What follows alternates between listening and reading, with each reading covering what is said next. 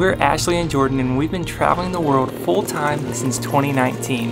After traveling around Thailand earlier this year, we hopped on a plane to explore Eastern Europe for three full months. From incredible hikes in Bulgaria and fun times in Lithuania to celebrating midsummer in Latvia, we've made some incredible memories. Now we're wrapping up our Eastern Europe adventures with, you guessed it, Romania.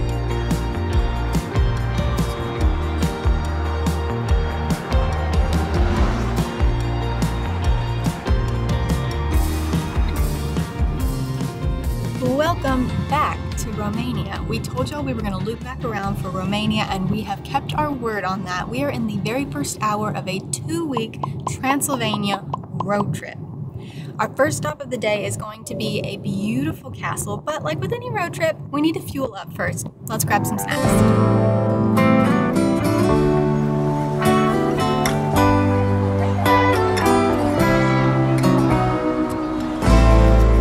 Driving over an hour from Bucharest, we arrived in the town of Sinaia. Known as the Pearl of the Carpathians, Sinaia is considered the most beautiful mountain resort town in all of Romania. Well known as a ski town, Sinaia is a very popular summertime destination for hiking, mountain biking, and diving.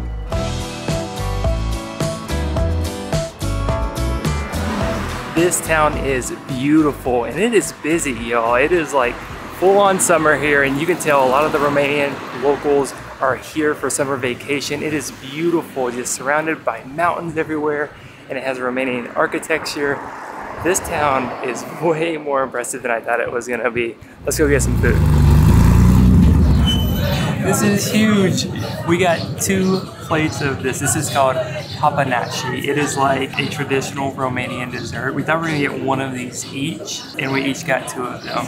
It was so delicious. Also, they're a little bit cheeky. It looks like a little bit of. That's why I'm laughing. Not because I got two, because they look, look like boobies. You just, Take them anywhere. you really cannot take him anywhere to grab his boobs in public. We are popping off the road trip with Papanași. I've been saying that since this morning. I hope you enjoy that little phrase I made up. But what better way to start off and fuel up for the drive? We're, we still have a way to go before we get to Brasov, but we are gonna just fill ourselves up on really elaborate donuts, basically, and then go to the castle. What a great first day of this road trip. Let's try bite. Jordan's convinced it's um, breast-like on purpose, which that's fine. Breasts are beautiful, so It's like the ones in Italy. yeah. Then tit of the nun or whatever. Yeah. Anyway, let's see if they taste good, huh? Very good. They definitely taste good. One of them had a lot more of the fruit sauce, like blueberry. One of them was more creamy. So I tried to get the perfect bite with a little of both. The cake itself tastes just like a funnel cake, but bigger, fluffier, and also like more dense at the same time. The fruit is nice and bright and tart. It's a, like a blueberry compote kind of a deal. And then some kind of delicious like cream yumminess. That's also a little sour, like faintly like sour cream. Anyway, I've heard this is a thing to get all over Romania, so I'm sure this is the first of many for this road trip, but I think we started off pretty well. This is delicious. The dough itself is really dense, like a it's like a big dough pillow, and the blueberries are really fresh. It's on point. I definitely recommend the Papanași at Hotel Bucegi, but just know it was a very European experience. Expect to be there for a minute. We thought we were gonna pop in and out for a little coffee, a little nosh, and be like be on our way. And no, they brought our coffee, and then they said we'll bring you your dessert later, and we're both like, okay, trying to like contain our Americanness, you know. Sometimes you gotta do that when you travel, but regardless, it was delicious. It was 22 lei for an order of two, and we got two orders of two, which was too much. They're very rich, very delicious. One order is plenty. Honestly, we could have shared a single one, but it doesn't matter. We went for it all the way. Highly worth it. Would Papanași again, but we really got to get to the castle because it closes in like an hour. So let's go. Real quick, I want to say a big thank you to NordVPN for sponsoring today's video and for protecting us online while traveling the world. NordVPN is one of the most trusted internet security providers on the market. If you've never heard of a VPN, it stands for Virtual Private Network, and it encrypts all the information sent between your computer and the internet so that no one can steal your online information. With NordVPN, we can be sure our data stays safe while working from unsecure public Wi-Fi networks. But a VPN can be used for more than just online security. You can also use it to unlock your favorite content while abroad. All you have to do is change your virtual location and you'll get access to a completely different content library. How much did you pay for this? 6,000 quid, love. Oh, God. When selecting a VPN, you need speed, security, and privacy, and NordVPN excels at all three. It's the fastest VPN on the planet, and you can enjoy super fast speeds with unlimited bandwidth. And the experts think it's great too. Security.org ranked NordVPN the number one VPN on the market and the best VPN for privacy. So you'll be sure your data stays safe while working from public Wi-Fi or traveling the world. A VPN is one of those things that is just good to have. If you don't already have a VPN, we highly recommend NordVPN. You can use the link below or our promo code KEEP GOING to get a huge discount off a two-year plan plus four extra months for free. And there's a 30-day money-back guarantee, so there's no risk to try it out. To get started, click the link in the description below. Now, back to the video. What happened? I was going down to try to pay for parking. It's not clear here like where to pay because we're in front of like an empty building right now. And there's a bunch of parking spots, but I went down, found, finally found somebody, and I was like, um, excuse me, do I have to pay for parking here if I'm parking up on top of the hill? And she was like, at this hour, no, it's okay. And I was like, thank you. Thank you so much. We're here like an hour and a half before closing. So that's awesome. So we're to get ready and go check out the castle. Everybody's a little bit sleepy, you know, driving, looking around for food. So that was a nice little win. Let's go see about a castle, huh? Did I turn it off? Yeah. How did I give you those? I was making sure his light's still on.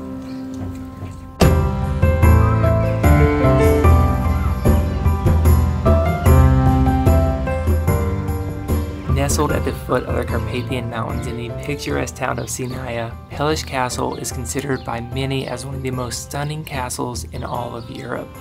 Commissioned by King Carol I of Romania in 1873 and inaugurated in 1883, Peleș Castle is a masterpiece of German Neo-Renaissance architecture.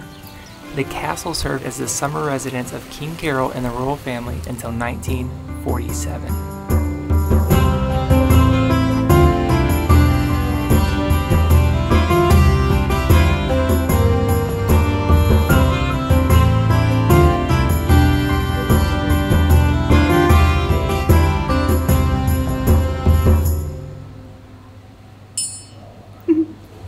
It only costs 50 lei per person to get in for adults, a little bit cheaper for kids if you have kids with you. But they only have the ground floor open right now, so we can't go to the first floor or the second floor here. But if you want to do those, when they do have those open, it's going to cost a little bit more. I think it's like 100 lei per person for the ground plus the first floor, and like 150 lei per person for the ground plus the first plus the second. And 50 lei is about 10 USD for reference.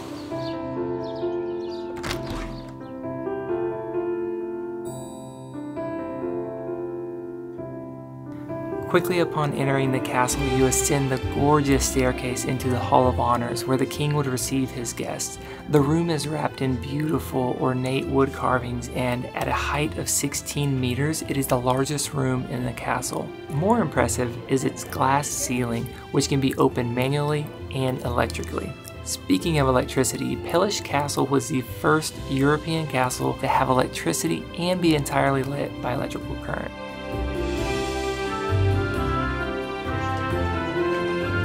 King Carol spared no expense on his castle.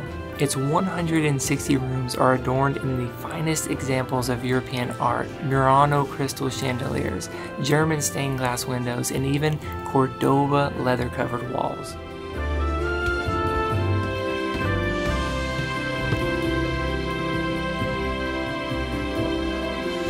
Each room of the castle is decorated in a different style or theme.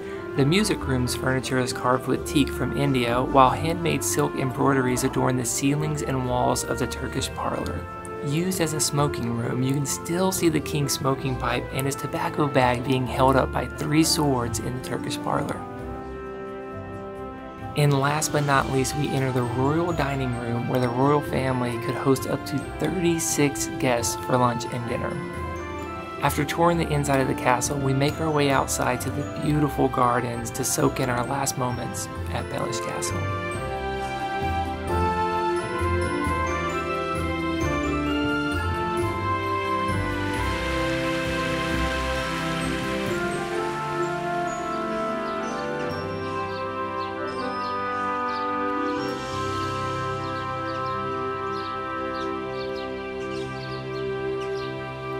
Wow, y'all, the inside of Peleș Castle was stunning. Everything was so ornate from the woodwork to the paintings to the sculptures and even the glasswork, like in the chandeliers and the mirrors. It was just absolutely beautiful inside that castle. I'm excited to see a lot of the other castles in Transylvania that we're going to see. We're at least going to see, I know, like two more, including the most famous castle in Romania. Also, we were a little bit rushed going through. I think they actually closed at like 5.15 p.m. today, which is little bit unfortunate because we only had like 30 minutes and we were kind of rushing through like 15 rooms.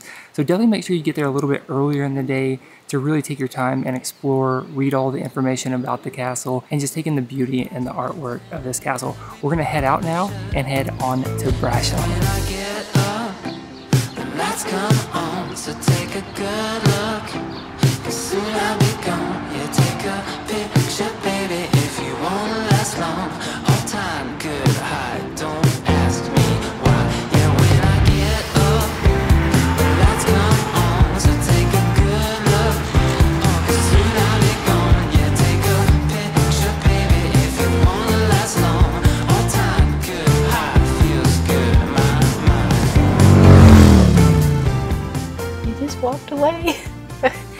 Just rolled up to our Airbnb. We haven't even tried to get inside yet and we were attempting to park and our host had put a like a bin in the road to kind of block the only parking spot for us. And this man started moving the bin for us, just just started doing it and I was like, "Oh, that must be our host." And so we rolled down the window and he says hello and I'm like, "Are you Victor?" And he's like, "No." And he was like, "I'm what did he say? Gabrielle?" Gabrielle. Gabriel or something like that. And I was like, "Oh, hello." And he was, "Where are you from?"